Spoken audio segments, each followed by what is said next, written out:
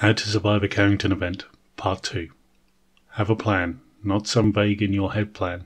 Have it written down and have more than one plan. Reason out different scenarios and above all, kiss.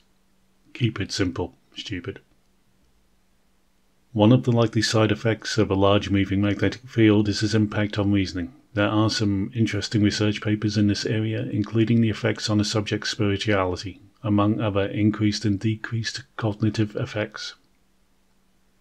So be prepared to feel weird, and be prepared for other people, pets, and non domestic animals to act weird. This is with a strong caveat of confirmational bias.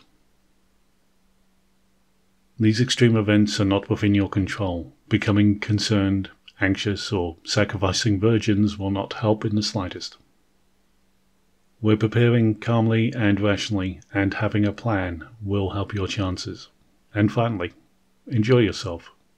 It's later than you think.